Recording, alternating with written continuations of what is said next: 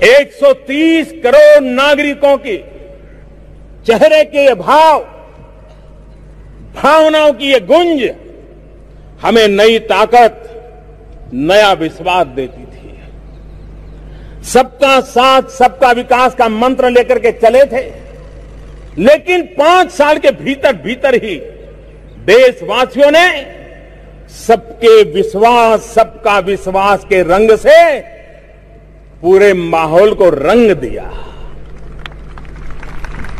ये सबका विश्वास ही पाँच साल में पैदा हुआ, जो हमें आने वाले दिनों में और अधिक सामर्थ्य के साथ देशवासियों की सेवा करने का इस चुनाव में मैंने देखा था।